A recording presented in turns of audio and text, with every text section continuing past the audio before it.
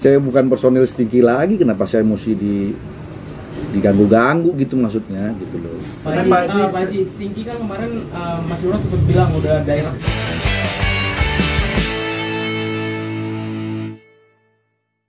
Yuk, udah yuk. Ya oke. susah. Ya, gimana Pak Haji menanggapi somasi dari Assalamualaikum warahmatullahi wabarakatuh. Terima kasih buat teman-teman media yang sudah hadir di warung Kondre. Ini eh, kebanggaan juga buat saya nih warung Kondre datengin teman-teman media.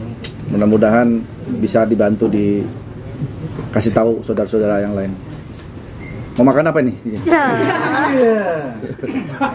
Saya mesti jawab apa? Saya mau jawab apa nih? Ya, nanggapin aja sama pertama, kedua sudah dilayangkan ke Pak Haji gimana? Udah Gini, diterima belum? Bang? saya menanggapinya sebetulnya gini. Kan udah ditanggapi sama Stinky. Stinky udah jelas jawabnya secara detail, lengkap, keren banget tuh jawabannya Irwan. Ya semua udah terjawab di situ. Apalagi mesti dijelasin. Gitu. Ya udah, clear. Tapi soal Ada larangan, soal larangan membawakan lagu mungkinkah terus Nah, sama lar- dilarangnya kenapa? gitu. Karena merasa eh, yang menciptakan. itu sang penciptanya dan dia tidak menerima royalti. Menerima dong, kan sudah dikasih tahu sama Stinky. Stinky bayar, royalti jalan terus. Itu album Stinky yang dari awal sampai sekarang penjualannya ataupun misalnya ringback tone-nya dan lain sebagainya, Endang tetap dapat sampai sekarang. Jadi kalau dibilang nggak terima royalti, bohong itu. Terima. Nggak, Terus apa yang mesti dilarang? Haji membawakan sebuah lagu Stinky, terutama lagu mungkinkah sama untuk dirimu tuh apakah sudah Nih, ada yang pertama saya udah nggak di Stinky. Jadi saya juga bingung kenapa saya disomasi, kenapa saya dilarang. Kan saya udah bukan personil Stinky gitu. Terus manggung juga udah jarang, nggak pernah. Teman-teman tahu sendiri kerjaan saya komandan. kerjaan saya bercanda. gitu. Kapan saya manggungnya gitu. Terus kalaupun manggung, kemarin itu saya bikin ATF ya, Andre Taulani and Friends. Itu juga baru manggung dua kali. Kalaupun memang dianggap saya menyanyikan lagu mungkinkah, saya sudah bayar.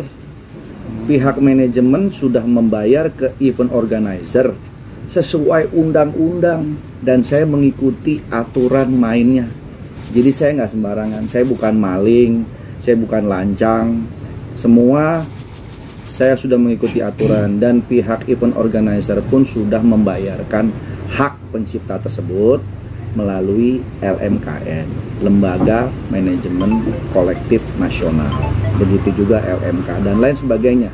Jadi saya heran kenapa saya di masih masih di somasi masih di lan dan lain sebagainya. Orang saya sudah mengikuti undang-undang kok. Gitu. Jadi ya sudah apalagi royaltinya nggak sesuai sama kesepakatan atau, atau seperti apa sih Pak Haji mungkin royalti apa nih?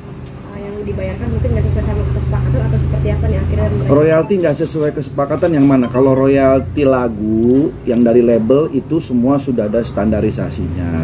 Semua dia udah terima dari dulu. Kalau memang mau komplain dari dulu dong. Kan dia udah terima semua royaltinya. Masa baru komplain sekarang?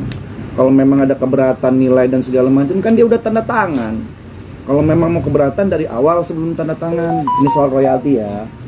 Tapi kalau soal apa kesepakatan apa tadi yang Mbak bilang? misalkan mungkin ada yang dari kesepakatan atau seperti apa sih Pak Haji Kesepakatan apa dulu maksudnya? kayak nggak boleh misalkan nggak boleh bawain lagunya atau seperti apa dari awal nggak boleh bawain lagunya maksudnya gimana kan gini di undang-undang ada ya teman-teman juga udah tahu ya kalau di situ dijelaskan bahwa saya bawa nih itu handphone diangkat dulu deh bunyinya nggak enak tong tong tong tong kayak pakai lagu mungkin kan dong biar dapat stinkinya tuh royalti Mungkinkah? mana ya nih nih. Nah ini saya saya ada sampai capture nih ada di undang-undang nih ya. Saya bacain aja ya. Boleh ya? Saya nggak bisa baca lagi nih. Mas Arif baca Mas. boleh nih ya ini ini saya capture nih.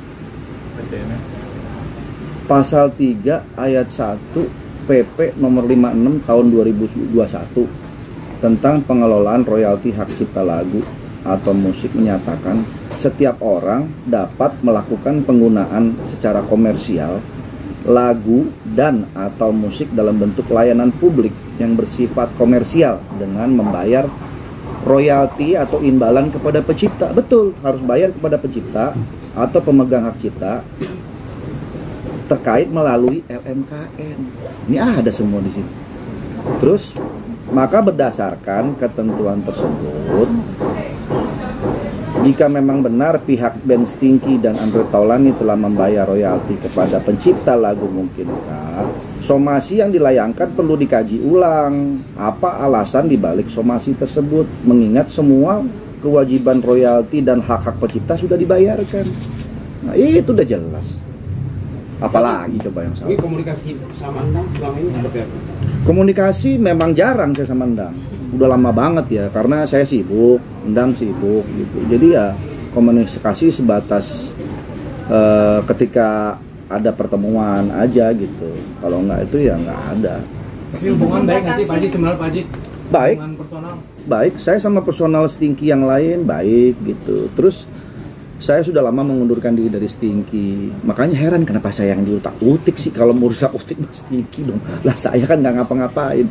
Saya bukan personil Stinky lagi, kenapa saya mesti di diganggu-ganggu gitu maksudnya gitu loh. Pak Nah, Haji, Pak Haji. Pak Haji, Stinky kan kemarin eh, Mas Yuron sempat bilang udah direct bayar ke si eh, Endang, ada ada pembayaran direct. Kalau ada ATF sendiri pernah nggak sih bayar performing right secara langsung? Enggak, karena kalau direct itu tidak ada aturannya.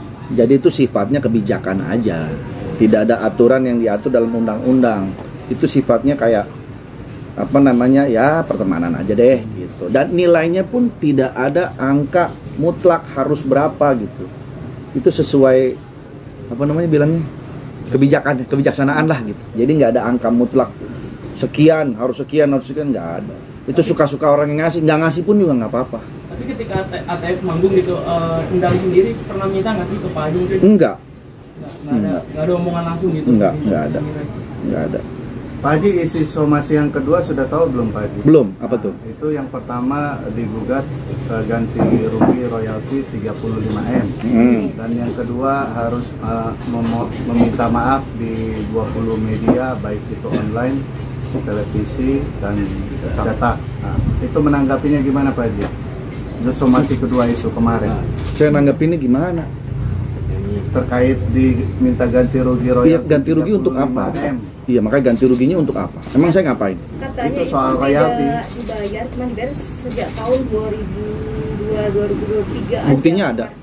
Ya, kita nggak tahu dia bilang. Nah, kalau buktinya nggak ada, datanya mana? Jangan asal ngomong nuntut ini nuntut itu, buktinya nggak ada. Semua pembayaran itu jelas. Endang, Irwan, siapa pun yang menciptakan lagu di Stinky itu sudah tanda tangan bahwa akan ada pembayaran royalti, bla bla segala macam. Coba tanya mereka deh, kontraknya mereka nyimpen kok. Dan itu pasti udah dibayarkan. Setiap setiap bahkan saya saya sendiri nih, Irwan tuh baik loh. Irwan tuh selalu ngurusin sampai sekarang soal KCI, royalti, walaupun nilainya nggak besar. Saya pun masih dapet, jujur aja. Ji ngomong, Ji ini royalti dari album Stinky karena dia tahu pada waktu tanda tangan kontrak album Stinky saya masih ada di situ. Artinya sampai sekarang hak hak saya pun masih dapet, walaupun nilainya nggak besar ya. Artinya apa satu? Royalti itu tetap dibayarkan. Kedua saya berterima kasih sama sama Irwan masih mau ngurusin loh. Bukan cuma saya mungkin Endang juga dapat gitu. Ya udah jadi mau apa lagi terus dituntut dituntut tuntut sampai berapa m apa urusannya? Tapi Pak Haji, Dasar hukumnya apa? Datanya mah itu aja sih pertanyaan saya. Nggak, saya saya diam aja. Apaan sih urusan apa sih? Gitu. Makanya itu Pak Haji nangkepnya udah bercanda lewat itu kemarin ya. Saya nggak nanggepin yang di mana, yang bercanda mana? Yang di Yang apa? piano. Di Piano, piano. piano. Piano kenapa sih? Piano emang kenapa kalau saya main piano? Salah saya main piano. Ya katanya Terus kalau- apa backsoundnya mungkin enggak ya kan kalau Instagram mah siapa pun mau pakai backsound lagu, lagu apa pun boleh kan? Boleh. mau saya pakai lagu eh, Indonesia Raya kek mau lagu siapa kan boleh. Di Instagram ada kan? Dan itu Instagram bayar loh. Jadi kalau saya pakai lagu mungkinkah nanti Instagram bayar tuh ke pencipta lagu. Endang sama Irwan dapat lagi tuh. Harus terima kasih sama saya. Saya pakai saya pakein background itu. Pak tapi ketika sekarang- diplomasi udah mencoba hubungin Endang langsung atau gimana? enggak enggak ada. Mau ngapain saya hubungin? Orang saya nggak salah Tapi setelah somasi masih tetap mau bawain nggak sih kalau misalnya ATF manggung lagi nanti atau Tergantung job. Kalau jobnya ada ya saya manggung. Kalau nggak ada job ya nggak apa-apa. jadi Kan job saya sekarang utama saya kan komandan. Ngurusin rakyat Indonesia yang mau lapor ke saya. Bakal tetap pakai ya?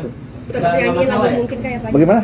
tetap nyanyi lagu Nggak mungkin kan? Eh, kayaknya nggak mungkin. kayaknya nggak mungkin.